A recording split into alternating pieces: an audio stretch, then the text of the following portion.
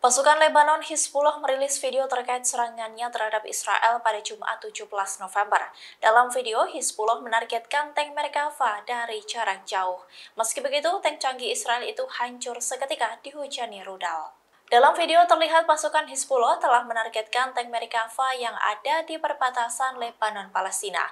Setelah target terkunci, Hizbullah langsung melayangkan rudal ke posisi tank tersebut.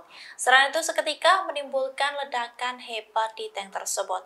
Dalam keterangan video dijelaskan bahwa tank Merkava Israel berada di sekitar Barak Beranit di perbatasan Lebanon Palestina.